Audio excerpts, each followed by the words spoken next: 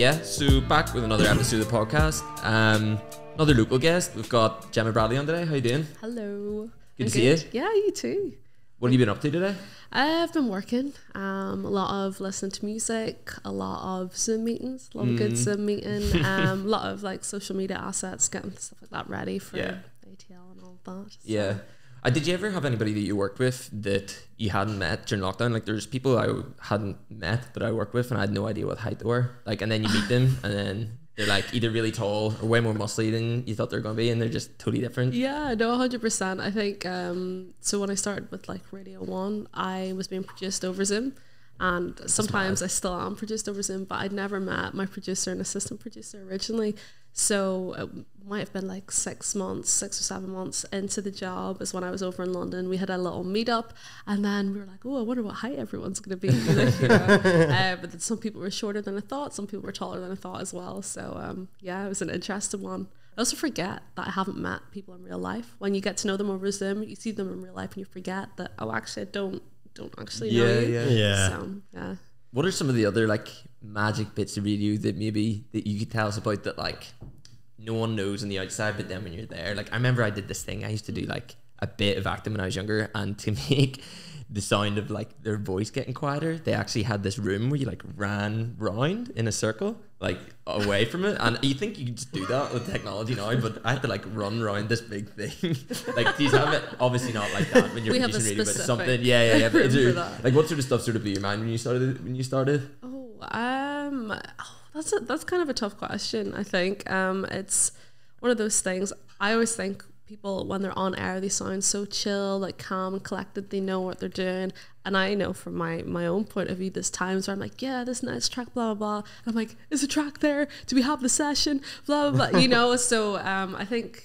You know, I guess we put on that we're fine, and we don't want you know the listeners to know we're in a panic if we are.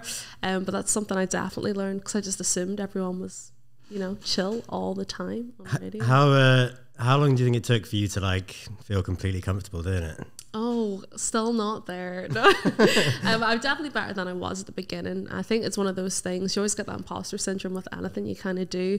Um, and it took me a while to settle into it. Definitely a few months because when I started, I was brand new. Like I'd never done radio before or, you know, even hosted anything before. Um, so it was definitely interesting. So I'm still finding my way, I think. But, you know, now that I've been in the industry a couple of years, I feel definitely a lot more relaxed. Um, and then I always laugh if people ask me for tips because I'm like, who am I to give tips to you, honestly? so, um, yeah, I think it's one of those things wherever you're at in your career, you're always trying to progress. So, yeah. Would you say that you feel more comfortable presenting or like when you're on stage playing your own music? I mean, I think, I mean, both, both. Because I feel like for me, when, before I start presenting, I, um, talking to an audience live when I was playing, I hated it with a passion. I just really didn't like public speaking. It really scared me. And you couldn't have paid me to do it. I would have been like, right, this is, that was, play the song, like enjoy the song. And then I'm like, oh, these eyes looking at me.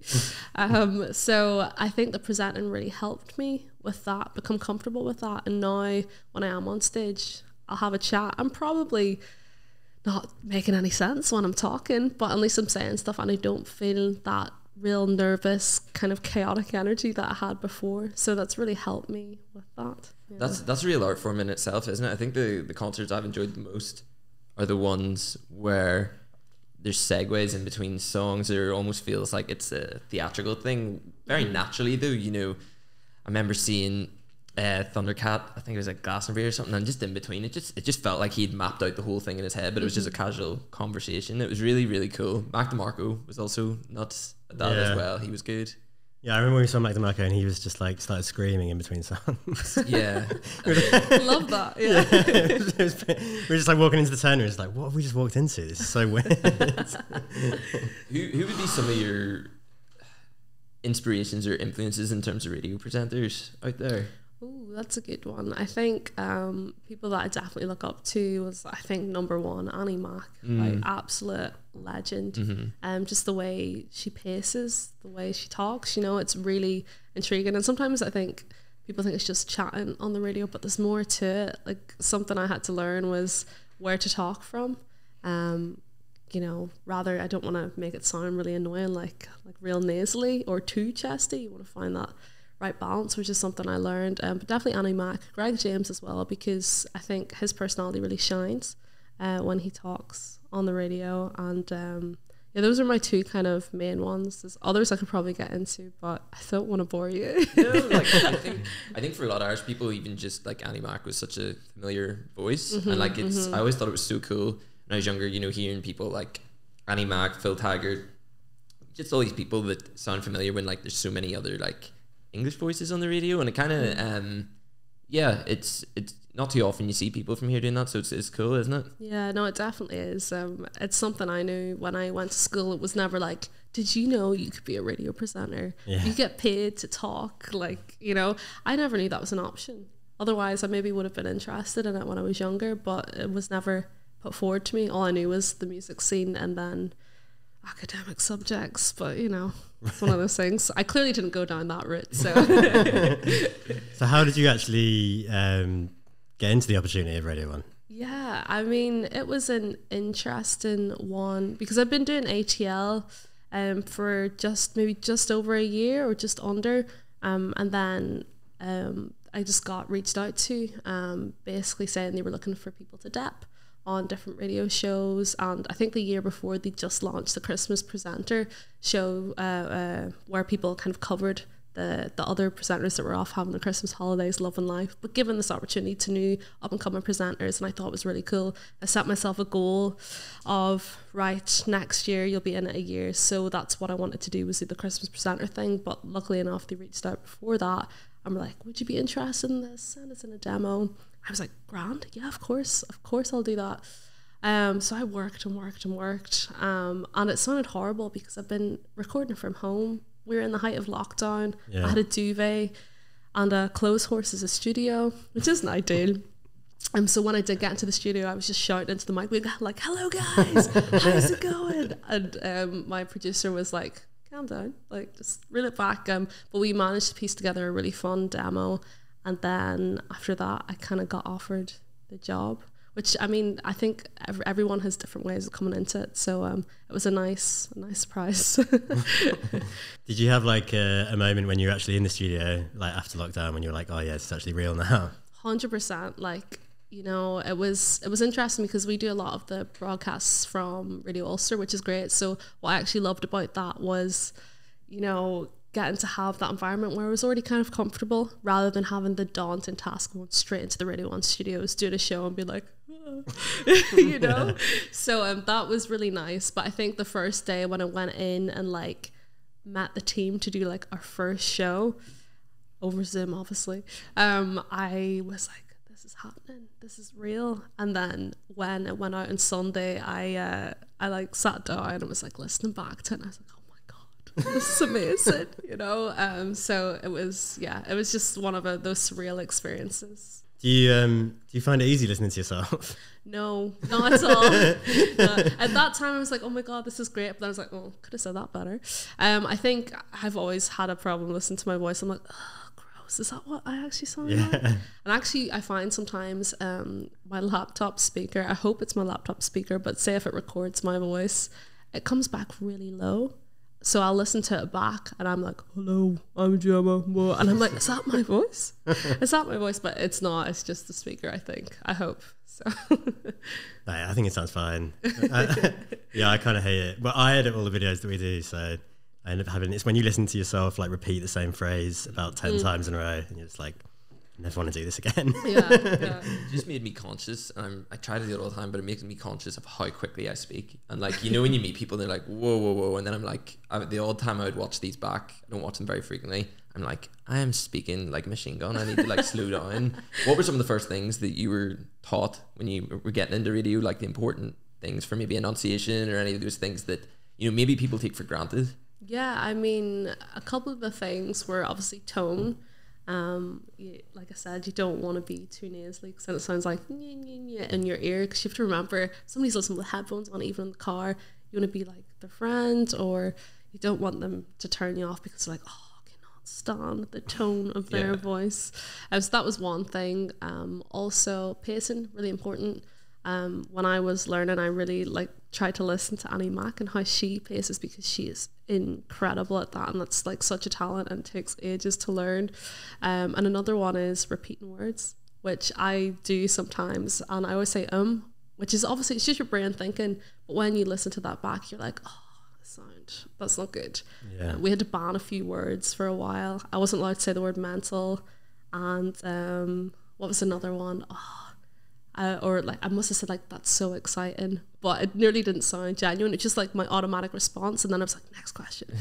um, but now I, I always take the time to make sure like when I'm doing interviews to really listen to the answers, and at the end of the day, it's a conversation, isn't it? So, Yeah, I think there's a lot of like unconscious things that you do that you would never ever notice until you watch yourself back. hundred percent, definitely. Like What what is it about radio that makes it such an important medium, or why do you think it's so um, appealing as a as a medium? Why would you not go for something else, maybe writing or podcasting or something like that? I think it really depends on what you enjoy. Like I like to write, but it's not my favorite. I, I think I can speak better than I can write, to be fair. Um, and I just love like the connection you can get with the listeners um, and the bands as well. Because with the listeners, you're that voice there. You can be their friend. And something what a lot of people said is that radio got them through lockdown because every day they maybe listen to their favorite presenter, favorite show, and be like, "Oh, that's what's happening today." because you were just stuck in the house. You had nothing really else to do. And I know for bands, um, I know for me anyway, as an artist and a presenter, I love being able to help bands get their music on the radio and like try and break them if I can because I just think there's so much talent here that we have and we need to shout about it. And that's one of the reasons why I love that. And yeah, you can chat to people too. You can't really chat to someone if you're writing. Um, although podcasting is kind of similar to radio, it's just maybe a bit more stripped back, and because you can talk for a bit longer, and it's not as like we've got the news at eleven, we have to be on at this time, you know. So it's kind of good that way. Yeah, I mean, do you think it's made it a lot easier now for you to find new music? Yeah, well, I mean, I would have been fine it anyway, but definitely because obviously people are sending me their music now. Um, I was actually doing some A and R sessions last week, and uh, I got sent this uh, track from a girl. We were chatting, and she's like, "Oh, by the way, here's my song." I was like, "Oh my gosh, this is amazing! I have to play it on the show." So that's what I did. But I probably wouldn't have heard that unless she hadn't sent that to me because I, I didn't know who she was before. So. Um, but now, now I know who she is. Yeah. yeah. there, there's something about um, how it's easier or more accessible nowadays to make higher quality music, you know, from your bedroom and stuff. So there's a larger quantity of music that's at a at a radio ready level. I would say. Is it overwhelming to you how much music is out there? Sometimes do you find that difficult? Definitely, it's definitely overwhelming because at the end of the day, everybody knows the industry. It's an oversaturated place with nearly any industry. Um, it is overwhelming, but at the same time, it's really exciting. Um, and that's what excites me. Even if I'm like, my ears are sore, I've listened to 500 tracks today. I'm like, you know what? I'll still listen to that one more because that could be an absolute gem. And, you know, I want to give everybody as much equal opportunity as I can. So, um, it's definitely overwhelming, but it's a great space to be in rather than being like, oh, there's nothing to listen to.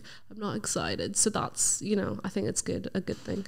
Because the I guess like with an introducing show, especially, it's like that. It can be that make or break moment. You know, if if, it, if a song goes well there, can it can it go on to some of the bigger shows? Is that kind of the path Yeah. generally it'll take? Hundred percent. Like if I take uh, the artist Ushna for example, um, he kind of came out of nowhere, and I loved his stuff. I was like, this is great. I played him on my introducing show, and then we put him forward for the introducing track of the week on Radio One. He got it, smashed it, and now he's playing Big Weekend.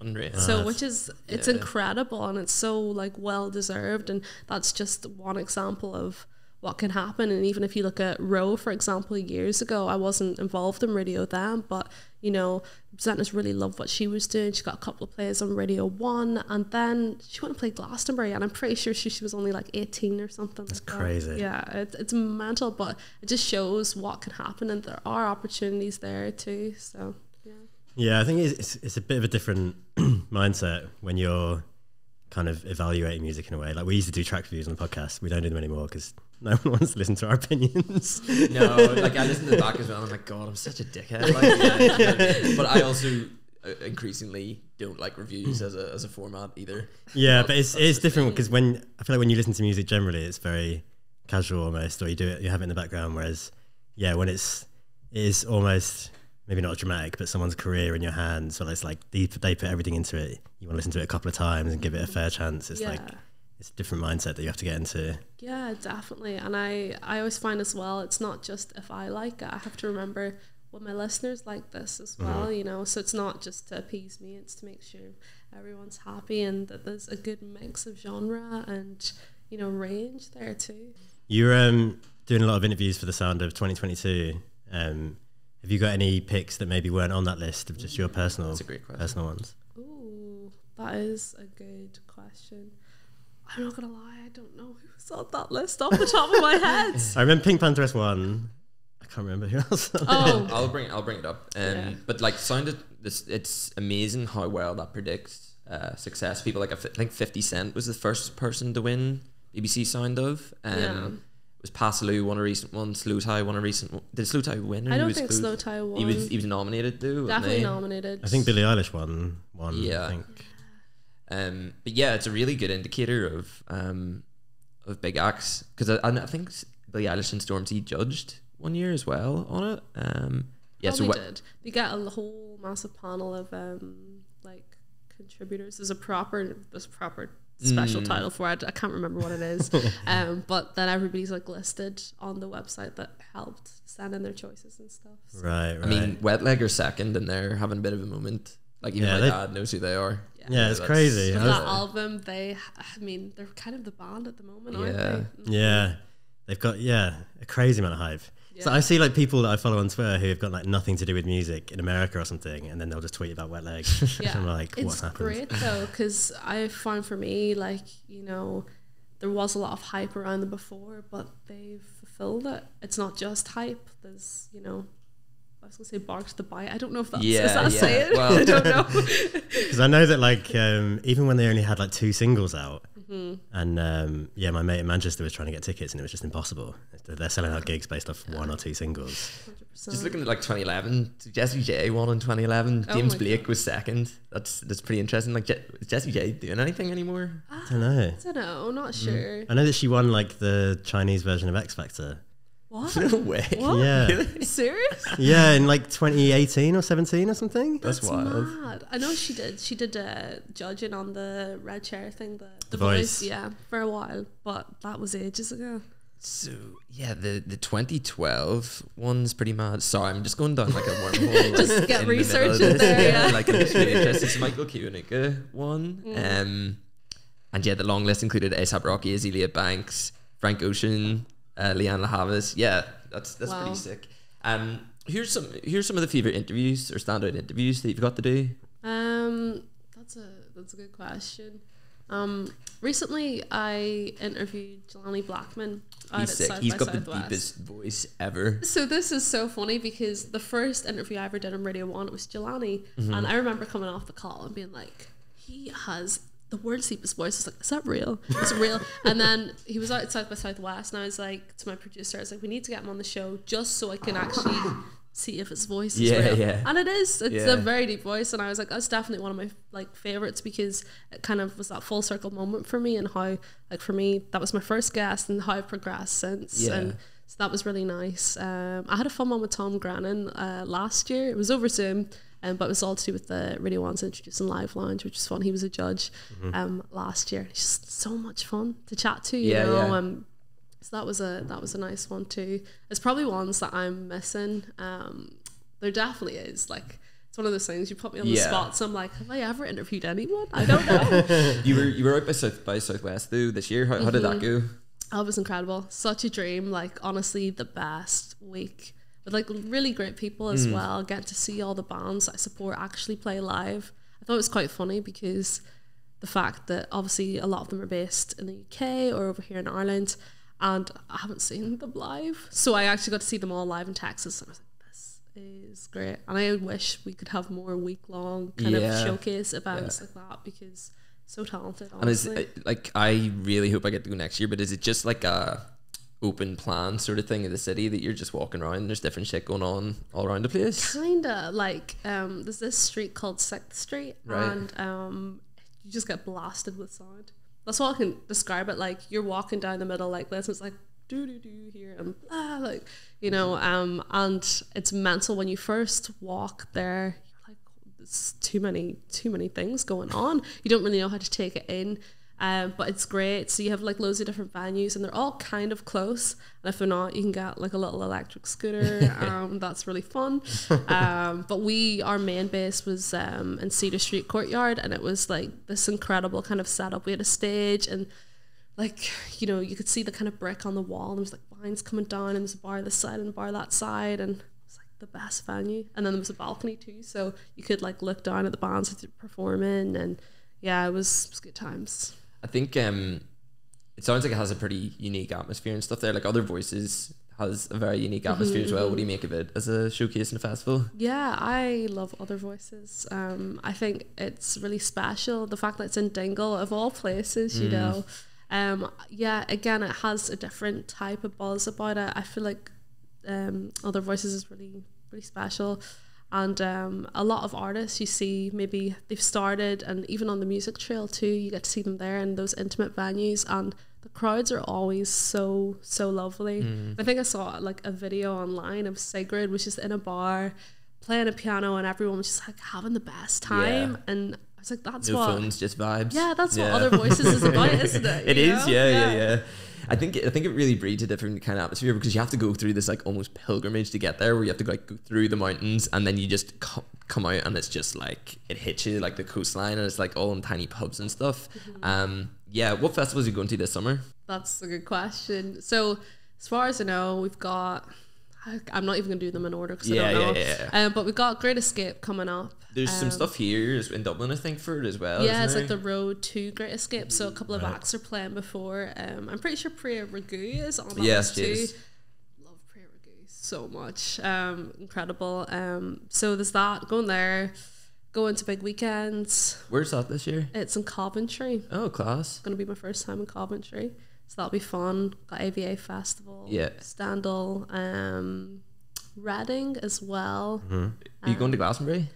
I do not know, cannot. know. I would like to go. Though. Yeah, yeah. so Putting it into the air fingers there. I'm putting yeah. it out there. So hopefully, hopefully we'll see. Yeah. But yeah. Um, are you playing any festivals this summer? Um, not at the moment. I know for me, artist wise, I've just kind of been focusing on writing a lot and just kind of putting my energy into that. And you know, if gigs come along, great. Um, Yeah. I'll I'll do them and enjoy them. But I'm not putting any pressure on myself. Um, because I really want to kind of focus on the sound.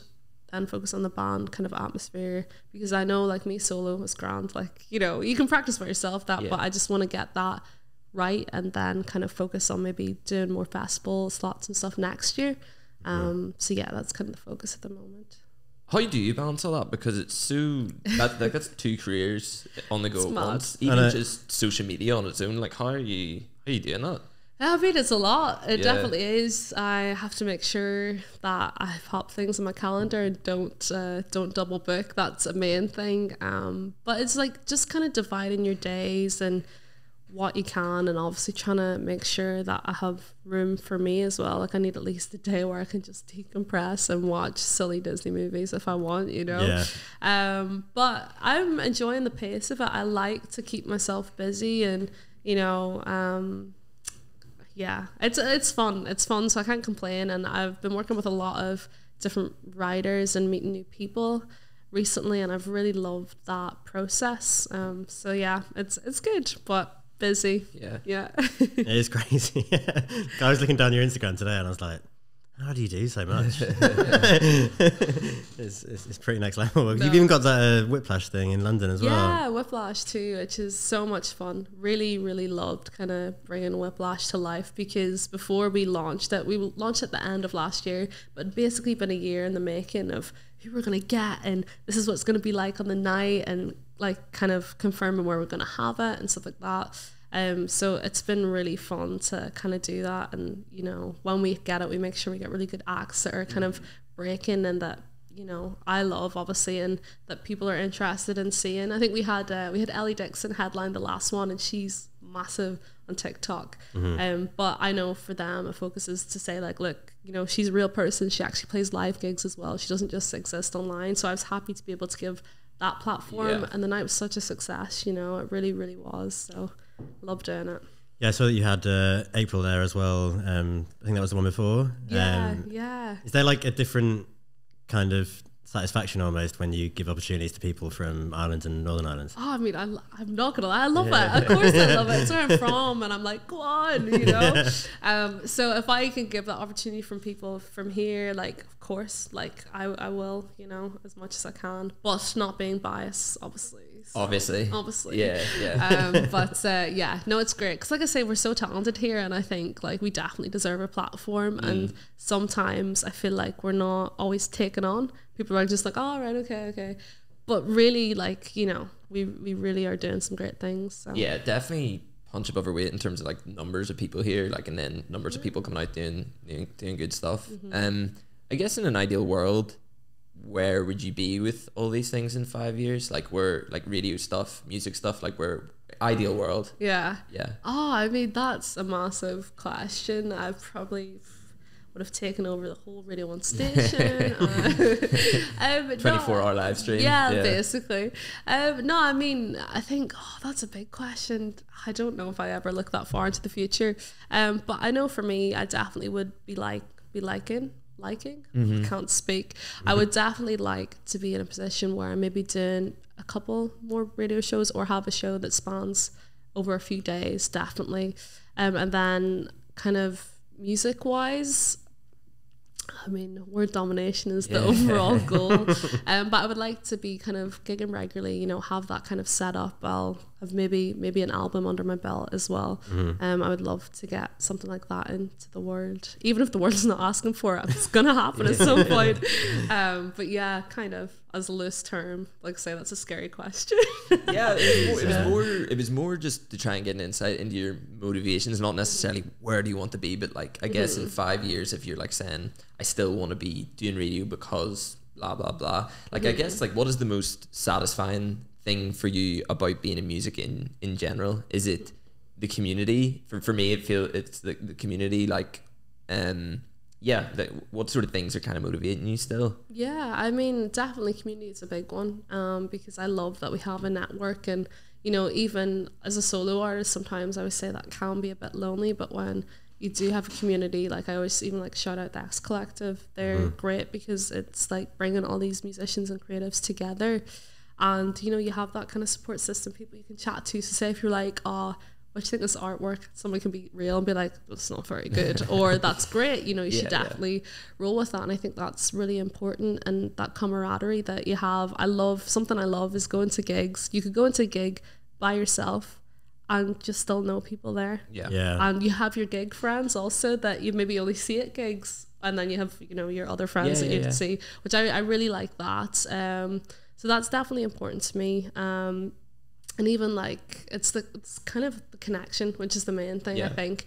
And also like i just love how music in general you can either you know if you're in a bad mood you can listen to something and it'll sort you right out. Same if you're in a happy mood and you just want to listen to like something that's like the, the main word is like let's dance or something Yeah, like you know and you're like oh great. So I, I really love that aspect of it as well so yeah, Yeah. Who have um who have you been listening to recently? Even like aside from what you've been playing on your own show. Yeah. Oh, uh, good question. I actually find, which is really funny, is that I go through the phases of like I, w- I don't even listen to like huge artists anymore. I just listen to like a lot of introducing artists or people that are coming through. Obviously, I know we mentioned Wet Leg earlier. I've been listening a lot to them because the album is just it's fantastic. I, I love it. Uh, Priya Ragu as well. I've been listening to a lot of her. A lot of Thundercat. Um, I'm working my way up to see them actually because they're down in Dublin. They're supporting Red Hot Chili Peppers. Oh yeah, there's some. Oh, yeah. I think um, is Anderson Anderson Paak Paak, there yeah. as well. That Yeah. is- that's gnarly as fuck. That's I know, so. I know. so. I was so buzzing about it because when I heard, I was like, uh, my friends were like, Red Hot Chili Peppers are you know playing. I was like, all right, cool, Yeah, cool. yeah. And I saw them years ago when I was younger, so I was like, that's like that's kind of dumb. But then I saw the sport acts. yeah. I was like, okay, I'm there. Yeah. And I've seen Anderson Paak before, but I haven't seen Thundercat, and that's definitely one that's on He's my great. list to Yeah. go and see. So I seen excited. Anderson Paak at Glastonbury a few years ago, and he like was on the drums at the start, and he did a medley of like loads of Dr. Dre songs, and he started on the drums. And then by the end of the song, he was at the front of the stage, and someone else had moved onto the drums after. Yeah. It was he's Yeah, I have like Anderson best Paak's piece in the my uh, he's my like best like I saw them before they were big. I couldn't even go to Yeah, that. yeah. I'm raging. But when we were still living in Manchester, and me and our friend Lauren, we went to see him at uh, the, Ru- on the the Ruby Wall. Lounge, Oh yeah, yeah, you're Yeah. right. You're right. which is like a, I want to say like less than hundred people venue, Oh like maybe even like, maybe even like fifty or sixty or something like that. And it was just, it was before Malibu came out, and it was after the first album, and it was yeah, just like him. He was like like as far away as you are now for Yeah. me, and just like playing the drums the whole gig.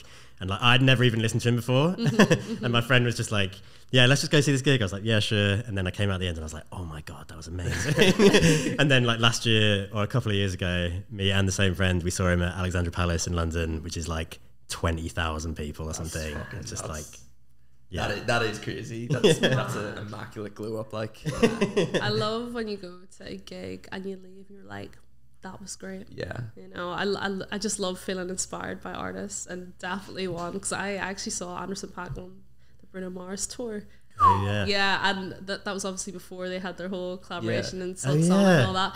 So when that happened, I was like, how did I not see this happening? Yeah. Because, yeah, 100%, but it was, it was brilliant. It was so, so good. Yeah, I think they're gonna have to do another album. They have to. it's, it's, it's too much of a perfect match, isn't it? Yeah, for sure. Yeah.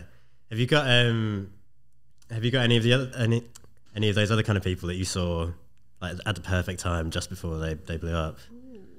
Let me see. Well, actually, one um, somebody we had at Whiplash uh, was an artist called Cat Burns. Don't know if you've heard of her, but um, singer songwriter.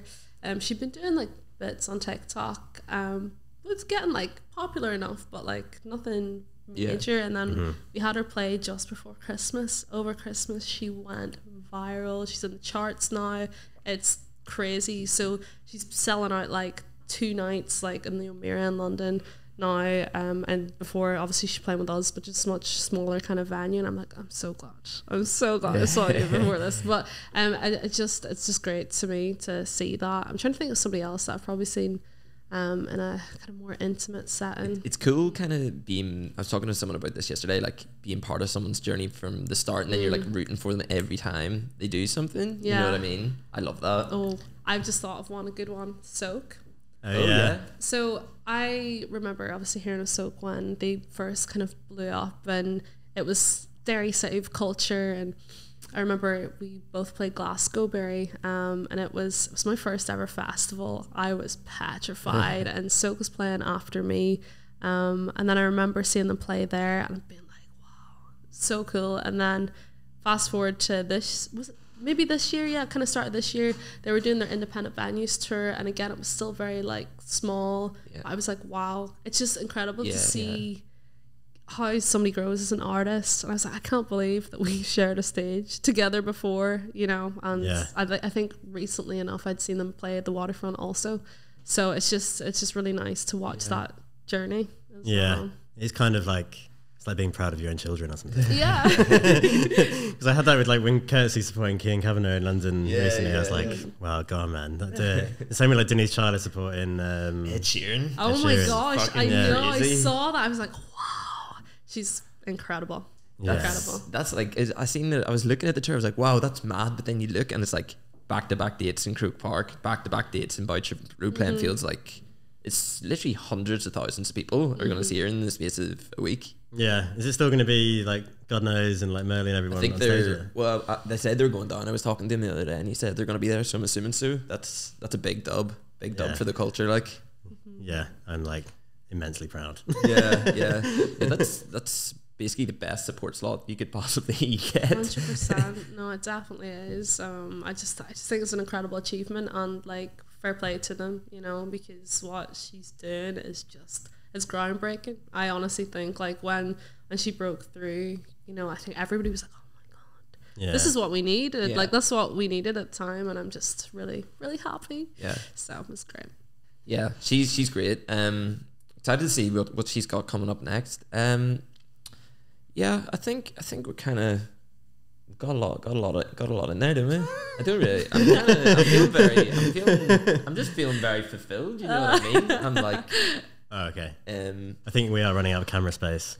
oh, I've well, just been told. yeah, this is, DIY podcasting is the worst. Like, um, yeah, I guess is there is there anything you want to plug before we end it? Uh, so I've got a gig coming up on the 28th of April in the Oh Yeah Centre. I think it's that Yo Magazine one. So I'm really excited to kind of get back on stage again and just uh, just have fun. Um, and then obviously radio shows. Listen to ATL Monday nights from 9:30 p.m. and then Radio One Sundays at 11 p.m. I feel so weird plugging my radio shows. I'm like so gross, but please listen. Um, visit Gemma Bradley's Instagram. oh yeah, there you go. Got me there too. Um, but yeah, it, it was great having you. Um, when I had you on for a bit, so it was, it's good to finally make it happen. Um, and yeah, uh, I, I guess we can we can call it a that. Like no memories space left, so not much we can do about that. But um, yeah, it, it- it was great having you on. Thanks very much for coming down. no, thanks for having me. It's been really fun chatting, and like I say, I love the setup in here. It's so cool. love the vibes. So, All right, thanks very much. Peace.